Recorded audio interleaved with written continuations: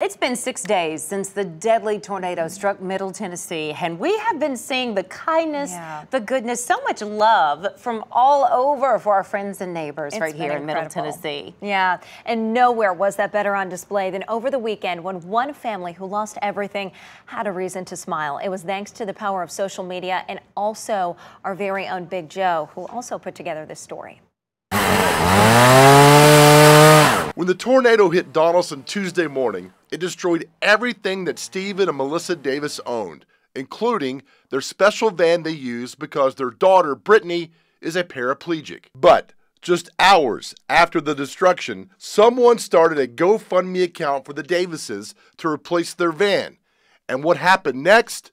Remarkable. It was picked up and shared on Twitter by Bill Pulte, who is a Twitter philanthropist, and immediately a global army of donors took over. In fact, nearly 2,000 people gave to the cause, raising more than $37,000. And on Saturday, thanks to Bill Pulte and those donors, who we will call Team Pulte, and will probably never meet the Davises, a new van was delivered to them. Words cannot express how much yeah. we appreciate it. That it just God has a way of showing us every day that He's still in charge and everything's His plan. Just praying that God would send someone to, or, or a way for us to get another van, and that's what that's what y'all have done. Y'all have answered, uh, you know, our prayers. That's incredible. Oh my goodness. Yeah. That is the most precious story. And Big Joe, you help get the word out there yeah. well, so that this so spread Their house everywhere. right behind my son's school, mm -hmm. Donelson Christian Academy, and I walked up there Tuesday morning just hours after the tornado and I, I met the family. Right. I talked to them, I said, I'm sorry, and I went back home.